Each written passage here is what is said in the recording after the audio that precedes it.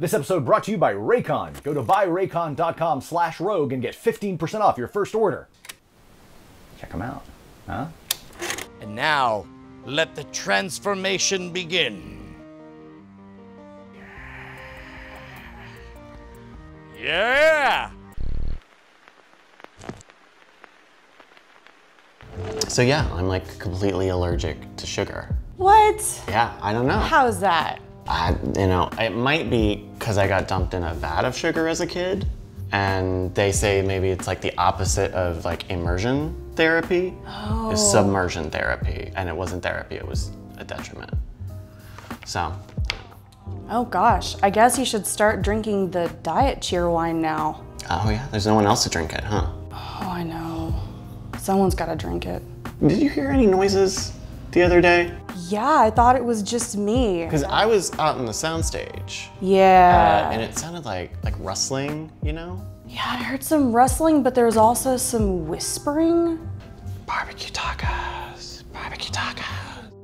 I don't know, it just seems super weird. What were you hearing? I thought it sounded like somebody was playing Call of Duty. Do you think it could be? I mean, he did die recently. Yeah, man, that was a weird funeral. I, you know, I didn't like the Spider Man dress code. Yeah. I thought that was a little uncouth. Um, Who's ready to make an episode?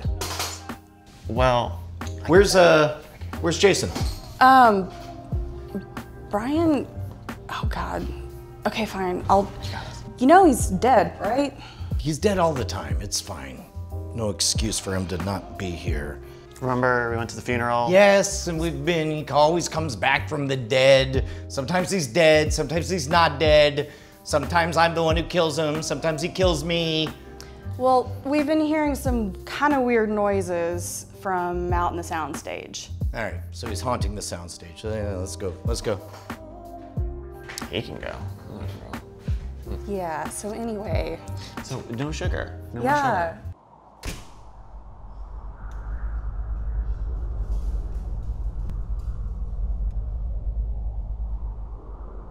Hello? Jason? Get out. Are you here, buddy? Do not tread here, mortal. This is hallowed ground.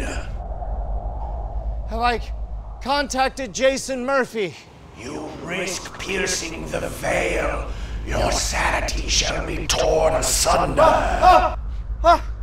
Brian, Jason, I see you. leave me, Brian. J- Jason, I have passed. no, no, no. We have, we have, we have a rug shoot. I cannot work It was, it was, it was, it was on the schedule. You- is that a PlayStation controller? No, pay no attention. No, it definitely looks like a PlayStation controller. Not a play- Uh, it is not a PlayStation. What are you? What are you? Are, wait, wait, hold on, whoa, whoa, whoa, whoa. Are you?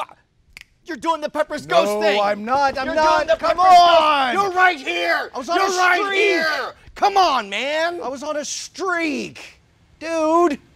Let me try it. All right. You'll respawn in a second. It's Verdansk, so. Oh well, you were playing as Dalsum. That was your problem. Holy cow, man. Pepper's Ghost has to be like an all star, world class, top 10 illusion of all time. That probably terrified people back in the late 19th century, right? Continues to terrify people today. I thought Tupac was really there at Coachella. I, I didn't know that they actually used Pepper's Ghost. I thought it was some fancy thought- like thought it was hologram technology. No, no, I thought, man, it's Pepper's like Star Ghost. Wars, Princess Leia appearing. Nope. Same thing with like a haunted mansion, that awesome moment when all the ghosts are dancing or whatever. In fact, that's a giant 45 degree angle piece of glass. And you're uh, often like on top of them, like where they're underneath. And so it's all just angles and lighting, really. There's nothing fancy about it. Back in the sideshow days, what they would do is they had an illusion that was called Girl Gorilla. And they would say, like, oh, here's a girl, but she might become a gorilla. Say the words, girl, gorilla, girl, gorilla, girl, gorilla. And then all they would do is they'd flicker the lights, and all of a sudden it was a gorilla. And then the big surprise was the gorilla would run out and terrorize the audience. Oh, and we should talk about the history just real quick. John Henry Pepper popularized this in like 1862. So he was doing like uh, early versions of the spook shows and stuff like that. And seeing it back then, of course, that was uh, right in the heart of the spiritualist movement, right? Oh my gosh, I assume it looked like a real ghost to people, right? right. I mean, it looks good even when we took four of them, put them together to create what, you know, what we called a holographic iPhone. Wow, right? That looks way better than I anticipated. It looks amazingly creepy in real life. I love going to haunted attractions like various spook houses uh, around the area, and they often use that. Of course, like in the Haunted Mansion, you'll walk up to the house, and in the window, you'll see a disembodied head floating or But something like that. translucent, that's Exactly. the thing, that's the secret. Because it's not really a mirror, for anyone unfamiliar, all you need is a 45 degree piece of glass, right? Where one side is well lit and the other side is dark or darker. And it ends up looking like, I, I don't know, a ghost, I guess. Yeah. Do you want to do the girl gorilla? Let's try it. Let's go magician to author. Whoa, magician to author, magician to author, magician to author. For our setup, we happen to have a big plexiglass something or other here. You could do it with real Yeah. glass, you could do it with a sheet of, I don't know, basically saran wrap. And this is something you can get at the hardware store. Yeah, yeah, and it cost us all, I don't know, a hundred bucks or whatever. But it's set at a 45 degree angle. You and I are almost directly behind it, but with the overhead lights, everybody can see both of us. It's only when the lights go off. In fact, let's go ahead and turn off the lights. Annalisa, turn off the lights. Hopefully, to the camera, it looks like some kind of weird blended Amalgam. illusion of the two of us. But we both have lights on us. The camera's not seeing either of us. It's either seeing me through the plexiglass or your reflection. So watch what happens when this light gets totally shut off, Just me. right?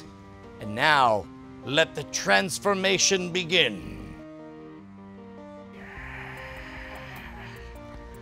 Yeah! Can you imagine it being like 1899? You're at a sideshow and you see a oh. girl transform into a gorilla right in front of your freaking eyes like that? Torches and pitchforks, man. Some sorcerer is gonna die that night. Transform back!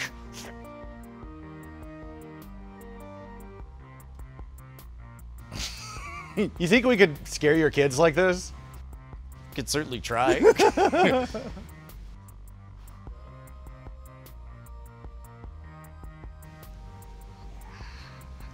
I can transform back!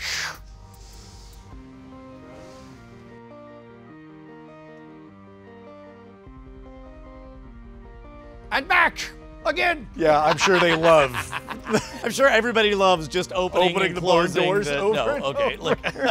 Pepper's Ghost, man. Dude, That's awesome. The illusion that has survived 200 years and counting. How Yeah. amazing is that? Check it out. My everyday E25s. Just like Brian Brushwood, wearing them all the time. Not sleeping in them though, like he does, because that's weird. But if you want to be like Brian and you want to sleep in these, you totally can, because they are super comfortable. They have a noise isolating fit, and they've got six hours of power, extra bass, and they come in a variety of colors and patterns.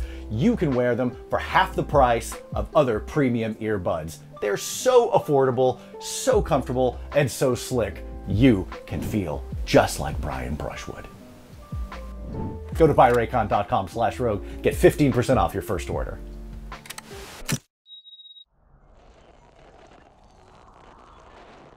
Oh, oh, that's legit! I'm dumb. My name is Jason Murphy. You totally blew it. I just hit buttons randomly. I, play Blanka. Well, that is what, what I did when I played Blanka. but it was Dawson, I'll have you know.